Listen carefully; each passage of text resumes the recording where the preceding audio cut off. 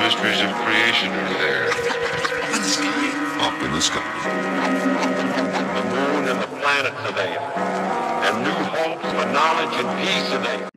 Hello, everyone, and welcome to Your Inner Journey Weather Forecast, in which we utilize archetypal astrology to understand the energies in the collective and illuminate how they might show up in our psychedelic journeys this week and in other inward explorations. This week, the week of May 16th through May 22nd. So let's look at Archetypal Explorer to see what energies are up this week. So we've got, we you can see an Archetypal Explorer here. These peaks of on this graph are the alignments of the planets that be, that go exact this week. So we begin, we have uh, towards midweek, Venus trine Saturn. Later in the week, Sun square Jupiter, and also Mercury square Neptune. Okay, so let's begin with Venus trine Saturn. So midweek, Venus trine Saturn. Venus, the archetype of love, beauty, the arts, harmony, friendship, good feelings and pleasures of life, and a trine, which is a harmonious angle with Saturn, is soft alignment with Saturn, the archetype of the reality principles, the realities of life, the grounding responsibilities and obligations of life. And so when those two come into a soft angle to each other, a soft alignment, it means that there's an ease of flowing together of the pleasure of life and also the heart and the love and the friendships and the reality principles of life. It's a time when we can call on resources inside ourselves that have to do with friendship and those we love having to support each other through the reality checks of life. You know maybe there's a time of of a friend who's going through hard times or somebody you love who's going through some challenge of entailed in living in this world of of beginnings and endings and all the realities and responsibilities and burdens of living in this world and we show up for that person, there's a sense of that love and responsibility kind of segue and dovetail together in a way that gives a kind of a strength and a backbone and a stately Saturnian responsibility to our love principle. In psychedelic journeys, that can show up as a kind of a sober sense of paced perspective on love, a sense of actually feeling like we want to devote some of our responsibility towards those we, we love, feeling a sense of responsibility and not having it be too in our face, just an ease of feeling a sense of responsibility towards those we love. Okay, uh, people born with that alignment, Venus trine Saturn, Tina Turner. So Tina Turner, what's love got to do with it? That's uh, a kind of an interesting exploration of these themes because that song, which became famous in the 1980s, I believe, what's love got to do with it is a, is a song where she's asking there's she's basically talking about reality um, the realities of life and then she's saying what's love got to do with it? Like what's what's a love relationship and partnership got to do with with navigating these realities of life? And so she's questioning she's questioning between reality and love but the whole song is actually a love song.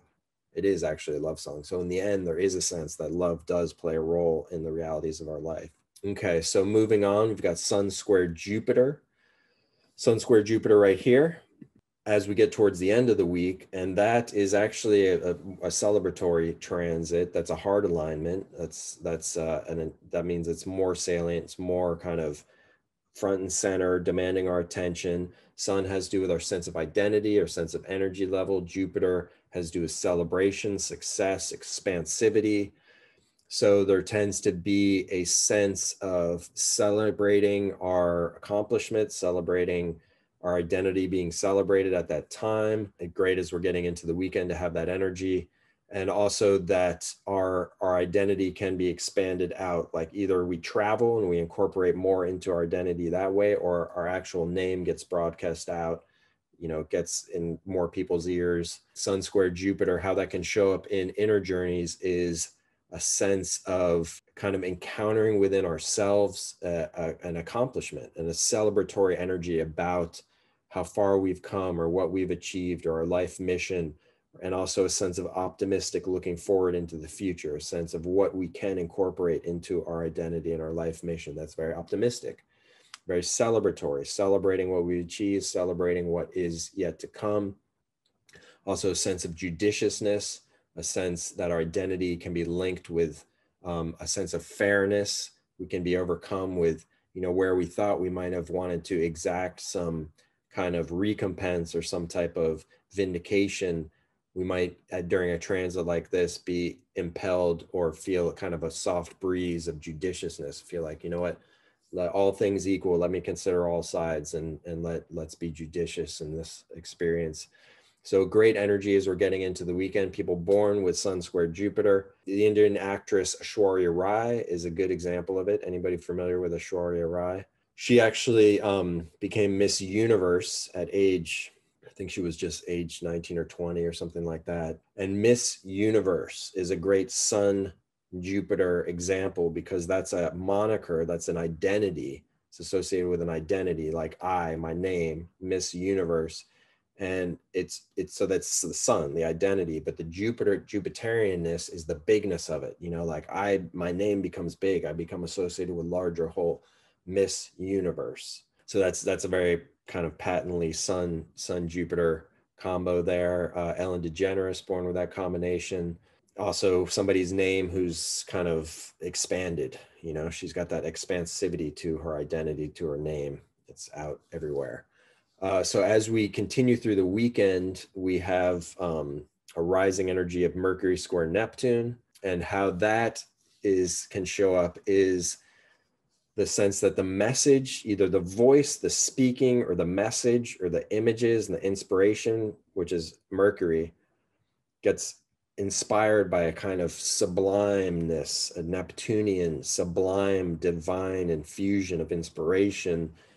And so that can show up in psychedelic journeys as kind of feeling like channeling a message from the divine, the divine is speaking to us, or that our vision for something becomes infused with divine inspiration. You know, if we have a vision of, of our future, of some project or something like that, it can get infused with this kind of this neptunian divine inspiration it's a time to the challenges in the way it can show up is confusion around communication not clear communication when that happens we got to set step back internalize the process and get in touch that there's some message wanting to channel through us and it's not linear it's more intuitive and then the usually the communication confusion can clear up somewhat so Mercury square Neptune, people born with that. Amy Winehouse, in her, it shows up as the voice that has this enchanting quality to it, this Neptunian kind of enchantingness to it.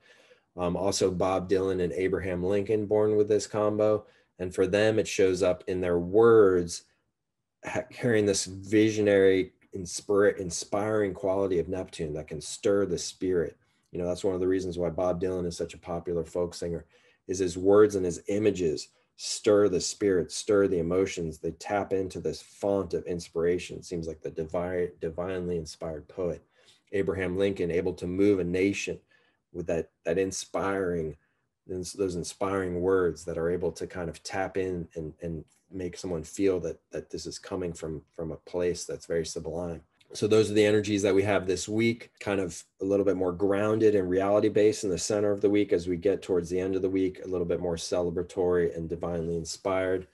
So I hope you have a wonderful week, everyone. And I hope you are able to reap the fruits of these astrological alignments and of knowing what these astrological alignments are so that when they show up, they don't confuse you and you're able to welcome them and reap their fruits. Thank you so much for joining me. I'm James Moran. I'm an archetypal astrologer, and this has been your inner journey weather forecast. See you next week.